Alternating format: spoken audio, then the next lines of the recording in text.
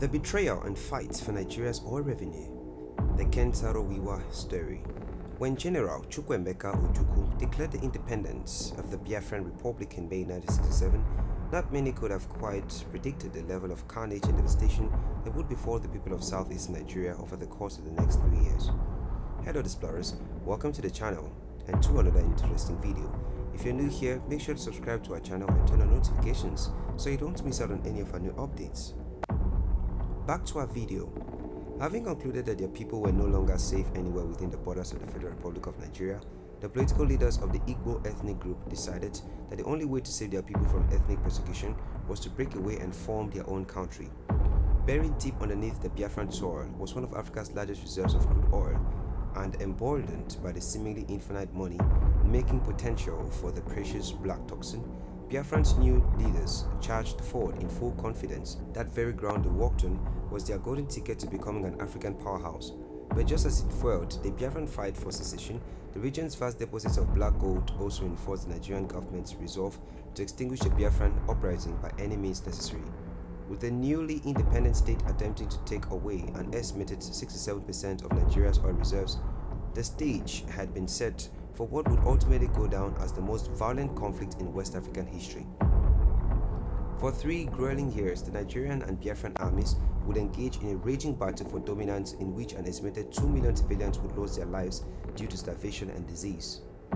But as with virtually all modern conflicts, the battle would be much more than just a violent exchange of bullets and explosives. The Nigerian Civil War would see both belligerents engage in wartime propaganda with a level of sophistication never before seen on African soil. According to the Nigerians, the Biafran state was nothing more than a rogue insurgency sponsored by nefarious foreign powers seeking to destabilize and disintegrate a promising African country. The Biafran narrative, on the other hand, invoked a much more visceral reaction. Their message to the international community was that the Nigerian state had adopted a policy of ethnic cleansing against the Igbo people, and so Biafran independence was the only way to protect themselves from complete annihilation by a Nigerian state whose only interest was in the exploitation of their precious oil reserves. But if the general rule is that history is written by the victors, then the Nigerian Civil War might just be the exception.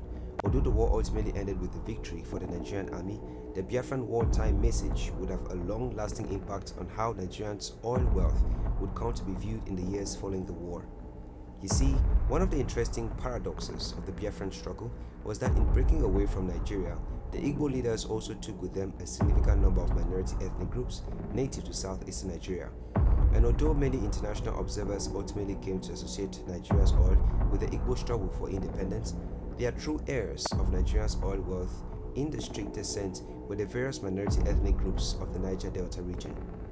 When added together, these groups amounted to as high as an estimated 40% of the wartime Biafran population, and although many of them would remain relatively unknown both during and after the war, they would be arguably the worst affected victims of the never-ending struggle for Nigerian oil.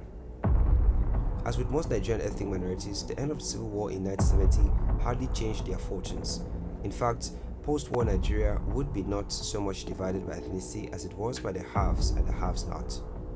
With various military dictators taking turns at the helm of power and oil prices flying sky high, Nigeria in the 70s, 80s and 90s became a perfect illustration of what political scientists would refer to as a rentier state, a country which was solely dependent on bribes, rents and taxes paid by foreign businesses in exchange for raw natural resources.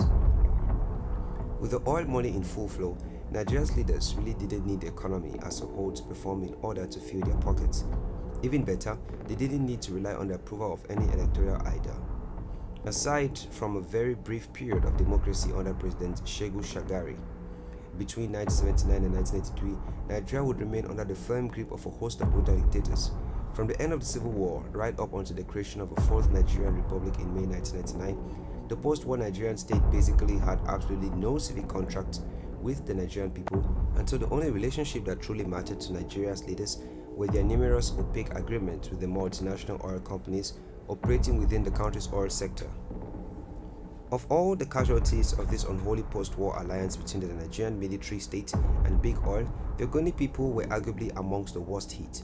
With the full blessing of the Nigerian government, the Royal Dutch Shell Oil Company was authorized to exploit and extract oil from Ogoni land.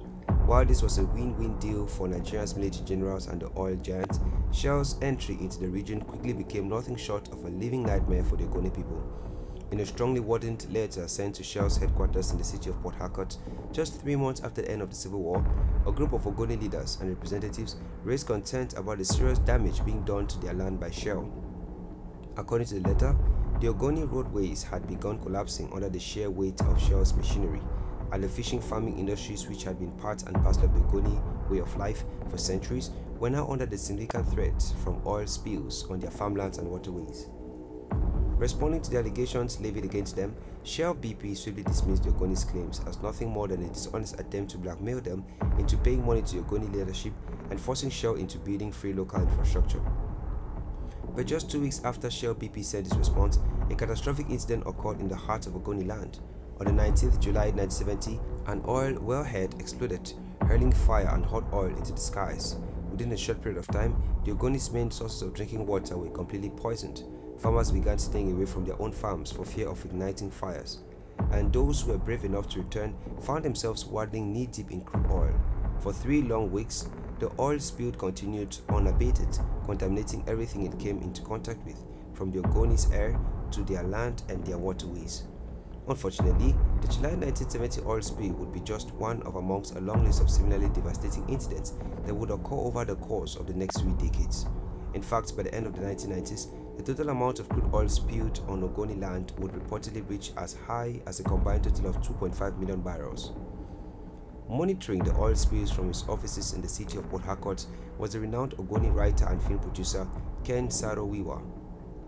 After a short career in government, Saro-Wiwa had a reason to become arguably the most well-known Ogoni in all of Nigeria thanks to the success of his hit comedy Show Basi and Company centered on the life and trials of a small-time conman named Mr. B and his various get-rich-quick schemes, the popularity of Saro-Wiwa's comedy show was largely due to its light-hearted critique of the get-rich-quick mindset that was prevalent at every level of Nigerian society. Having grown sick and tired of the military government's complexity and the devastation of his ancestral land, Saro-Wiwa spearheaded the creation of a pressure group known as the Movement for the Survival of the Ogoni People, popularly known as MOSOP. With the approval of the elders and traditional rulers of the Ogoni communities, Ken Saro-Wiwa drew up a Bill of Rights and mandating greater financing and political autonomy for the Ogoni people. Saro-Wiwa then sent out his Bill of Rights to the military government alongside an urgent call for protection against Shell's devastation for their land and property. But with Saro-Wiwa's Mosop group having virtually no real bargaining power, the Nigerian government's response was to simply try to brush Saro-Wiwa aside and carry on with business as usual.